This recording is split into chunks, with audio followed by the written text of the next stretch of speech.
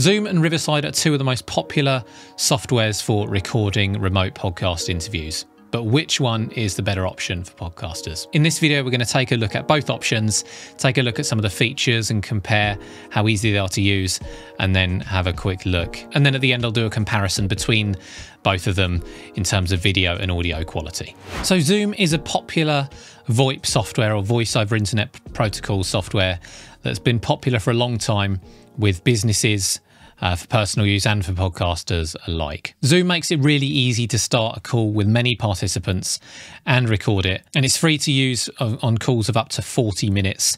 It's around £13 a month if you want to remove that cap. Riverside, on the other hand, is newer to the game, and what it does differently, it does record your online interviews, but instead of recording over the internet like Zoom and Google Meet and Teams does, it records locally. It records each participant's voice and video locally on their computer, and then it uploads it to Riverside systems for you to download after. And what this does it, is it keeps your recordings from being affected by either party's network connection, leading to a higher quality end result. You can record for as long as you want, even on the free plan, unlike Zoom, but it does restrict what you can download. So after your two hour trial, you can record up to 720p and you can only export a single track. So both speakers or all speakers will be on a single track.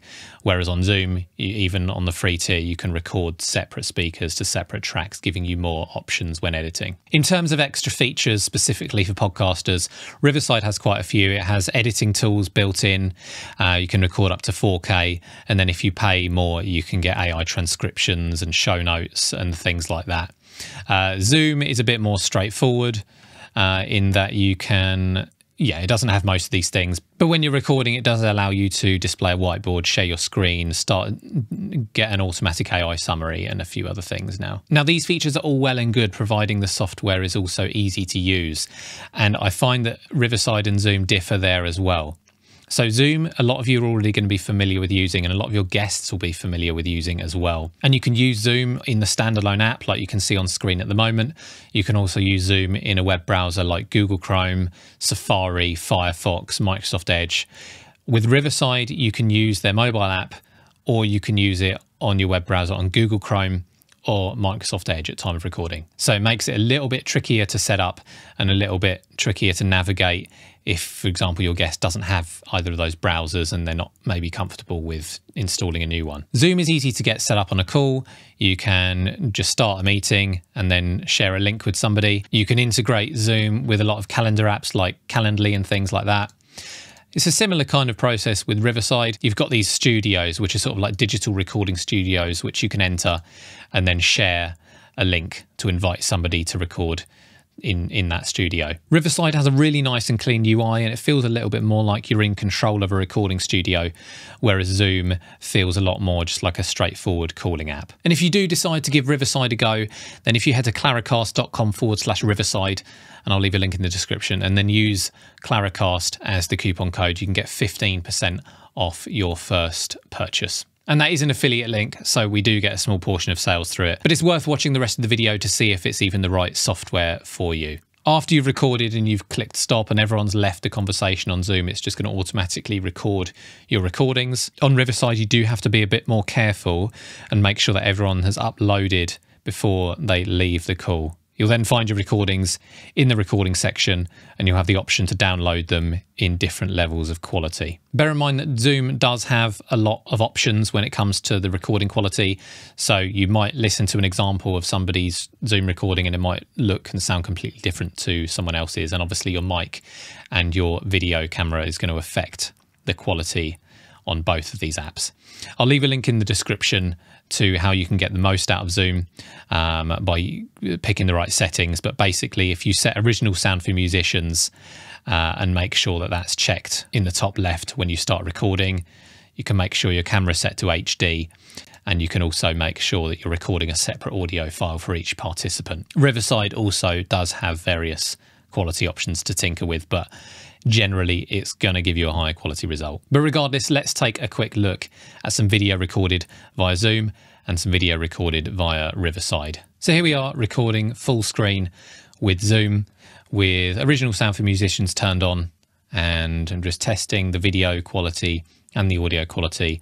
The lighting and the microphone's a little bit different, so there's going to be some differences there. But generally, we'll be able to see if we have a look at how sort of grainy things are um, and the clarity on some something like the the CDs on the shelf behind me and things like that, uh, and on on my face, you can see that Riverside you're getting slightly higher quality.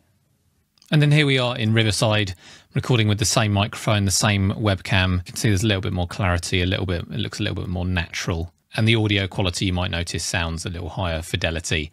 Bear in mind that YouTube also does some compression on the video and audio when I upload it to YouTube um, and when I export this video so that you're not going to see exactly the same as, as I'm seeing, but I can notice a slight improvement. But the main thing that Riverside claims is that because it's recording locally rather than over the internet avoids network issues. And this is a little bit more difficult to demonstrate, but I'm going to show you a clip now of a recording that I made over Zoom for my podcast and you'll notice that there's a little bit of lag the the sort of voice uh, the the audio and video don't match up perfectly but there's a, a significant lag where the video stops for a sort of quarter of a second half a second or so and then I'll just, for completion's sake, play a clip of an interview recorded via Riverside. Passions was driving us to 150, 160 episodes, the hours, the weekends, you know, like kind of, it's just, it, it feels right. What do you need? You need a computer, a, a laptop or a MacBook, a microphone like this that you can then connect as a USB. And then we're using something like Zoom or Riverside. So if you're looking for the highest quality possible for your online interviews, then Riverside is a better option in comparison to Zoom. And there are other systems like Zencastr and Squadcast that offer a similar service to what Riverside does. If you're going to be interviewing guests that are maybe less tech savvy or you just want to make things as smooth and easy as possible, then Zoom still is a solid option and probably a better option for you. And you can still get a, a high quality recording with Zoom as long as you use the right settings. You do also have the option of recording locally. So even if you're recording Zoom, you could hit record on your computer on a digital audio workstation like Audacity or GarageBand, and then it means you're recording that highest quality uh, audio directly to your computer.